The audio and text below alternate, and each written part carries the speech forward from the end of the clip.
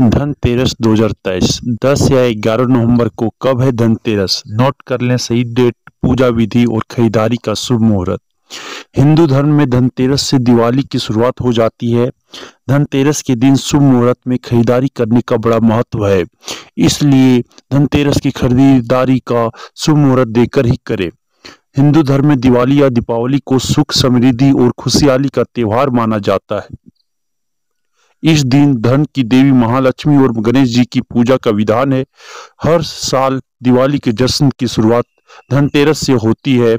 इस दिन धनवंतरी देव कुबेर देवता और महालक्ष्मी की पूजा अर्चना की जाती है। इसके साथ ही धनतेरस के दिन कई चीज़ों की खरीदारी को बेहद शुभ माना गया है। माना जाता है कि इन वस्तुओं की खरीदारी से घर के सदस्यों पर साल भर माँ लक्ष्मी की कृपा बनी रहती है। और धन की तंगी का कभी भी सामना नहीं करना पड़ता है। आइए साल 2023 में धनतेरस का शुभ मुहूर्त पूजा विधि और खरीदारी की शुभ वस्तुओं के बारे में जानते हैं। धनतेरस का शुभ मुहूर्त हर साल कार्तिक माह, कृष्ण पक्ष की त्रोदशी तिथि को धनतेरस मनाया जाता है।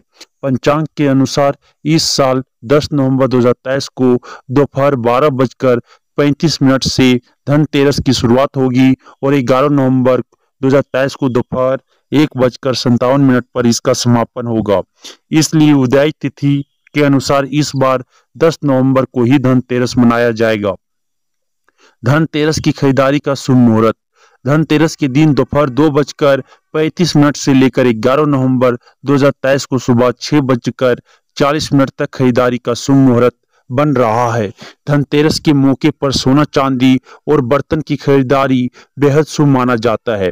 पूजा का शुभ मुहूर्त, पंचांग के अनुसार धनतेरस में पूजा का शुभ मुहूर्त, शाम पाँच बजकर पैतालीस मिनट से शुरू होकर सात बजकर बयालीस मिनट पर समाप्त होगा।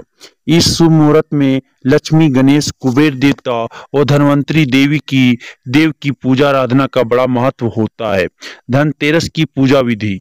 धनतेरस के दिन पूजा के शुभ मुहूर्त में उत्तर दिशा में गणेश, लक्ष्मी कुबेर देवता और धनवंतरी देव की प्रतिमा स्थापित करें। अब मंदिर में दीपक जलाएँ और विधिवत सभी देवी देवताओं की पूजा करें। उन्हें धूप, दीप, फल, फूल, अक्षत, चंदन, इत्र, मिठाई समेत सभी पूजा सामग्री अर्पित करें।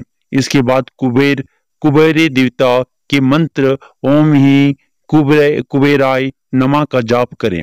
धनवंतरी सरोत्र सरोत्र का सतोत्र का पाठ करें और इसके साथ ही माता लक्ष्मी की मंत्रों का जाप करें और सुख समृद्धि की कामना करते हुए सभी देवी देवताओं का ध्यान करें।